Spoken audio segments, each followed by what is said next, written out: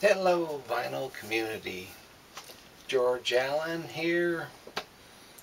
Vinyl LPs and CDs and we are going to be showing my latest acquisitions. Stuff I've picked up over the last week or two and it's got some good stuff here I hope. I'm going to start off with one that's taken me a while to get. I ordered it and um, from Acoustic Sounds and when I did I didn't realize it was um, one that was I can't remember it was showed up as out of stock or it was a pre-order but anyhow they sent it out uh, Federal Express ground and Federal Express ground.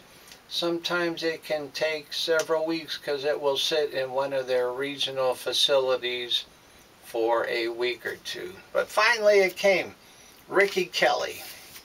Now Ricky Kelly I was unfamiliar with but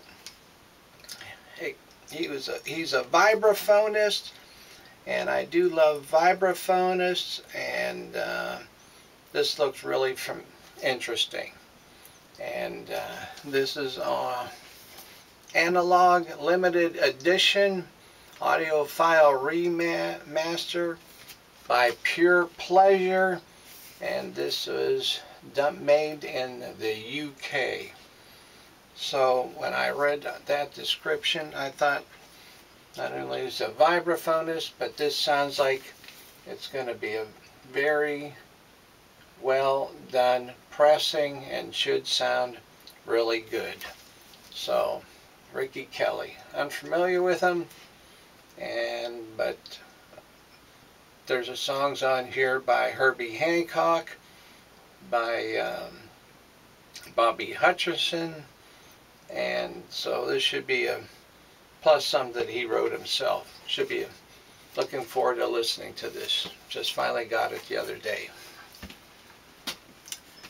Another one, Blue Note, Art Taylor, AT's Delight, with Dave Burns on trumpet, Stanley Turrentine, tenor sax, Wynton Kelly piano, Paul Chambers bass, Art Taylor on drums, and Patato Valdes on conga. 180 gram vinyl. Looks pretty good, don't it? How about that?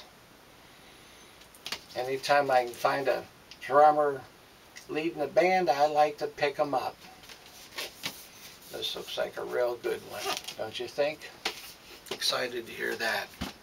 Oh, and of course, this is another hot one for all you bass players. Marcus Miller, double album, Laid Back. This is fairly new.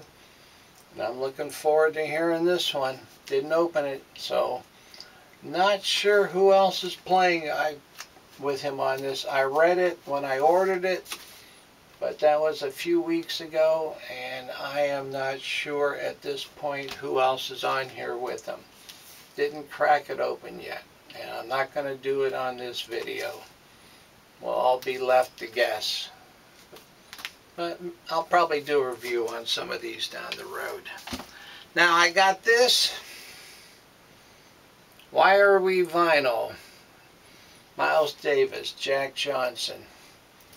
I got this because I've had Jack Johnson on CD for a while, but I thought I'd really like to have it on vinyl because I really love this album a lot and um, I just really wanted to have this on vinyl. So I got it on vinyl. Had a got a very good deal on it. I thought I'd really like to have this on vinyl. Miles Davis Jack Johnson. And speaking of Miles Davis Bopping the Blues with Miles Gene Ammons on sax Connie Wainwright on guitar Linton Garner on piano Tommy Potter on bass, Art Blakey on drums. How about that? This is an oldie. Earl Coleman vocal and Ann Baker on vocal. Hmm. This I think is going to be a classic.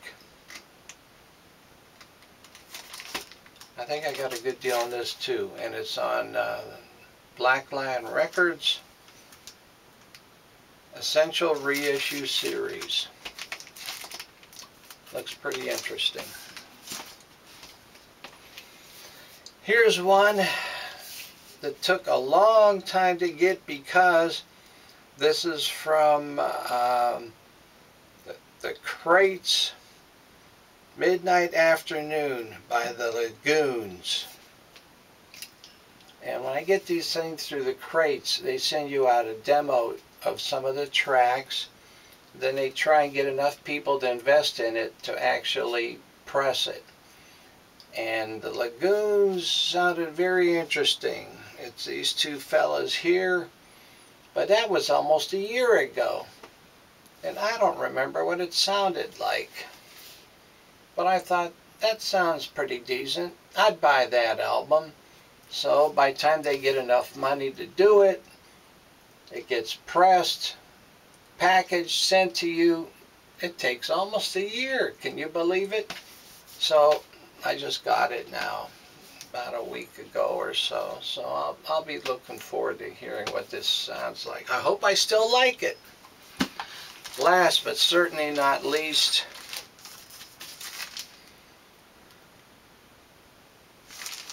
Mai Group uh, featuring Mai Leisz, the bass player.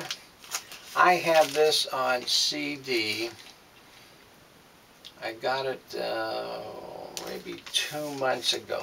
Saw an article about this group in Downbeat magazine. Mai Group.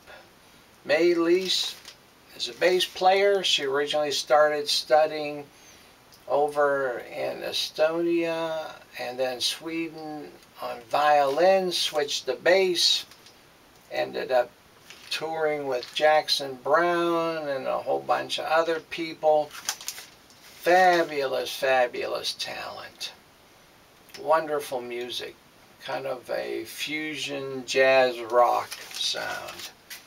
And um, just love her music. She has some videos on YouTube. You can see their band playing. Uh, great music.